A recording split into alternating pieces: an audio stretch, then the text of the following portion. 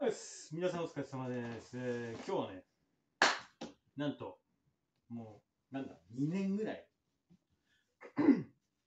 欲しい欲しいと思っていた、えーある、えー服服かな？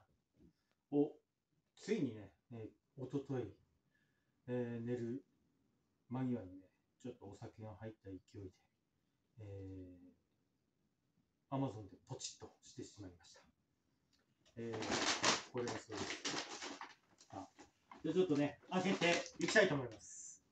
なん、黒。開けていく。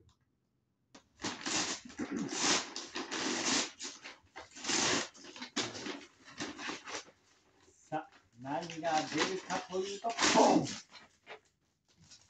えー、サムエ。えー、サムエです。ちょっと開けてみたいと思います。ピンとこない人も結構いると思うんですけど、サムエ。めちゃめちゃ俺これ憧れてた。着物とかだと、ちょっと敷居が高い。普段着でも。でもこれね、絶対ね、普段着てもよくて全然おしゃれだと思う。あのよく旅館とかで見る、こういうやつですね。こうで、あの、ほらほら、こういうやつ。頼んだんですよ。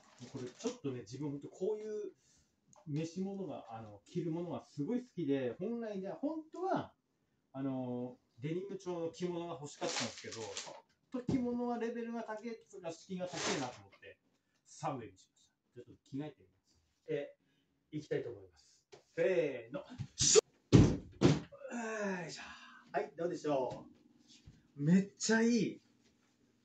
すごいいい。どうみんな。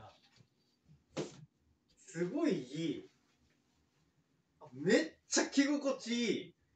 ちょっとね、M サイズだけどね、やっぱね、ウエストがね、あの、でかすぎる。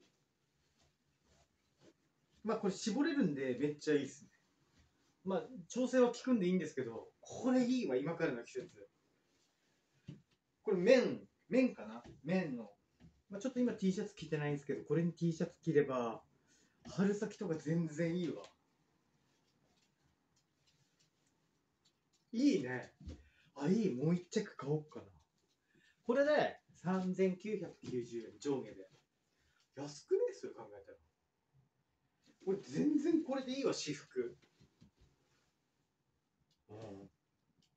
やっぱ和の心をさ、大事にしたいじゃん。結構あの、セッタとかも好きで、あるんですよ、セッタも。夏はセッタ履いて、出かけたりします。いいっすね、マジで。ちょっと、俺166で、だいたい M サ M サイズですね。あの、多分、変わんないと思う、どこのメーカーも M サイズ。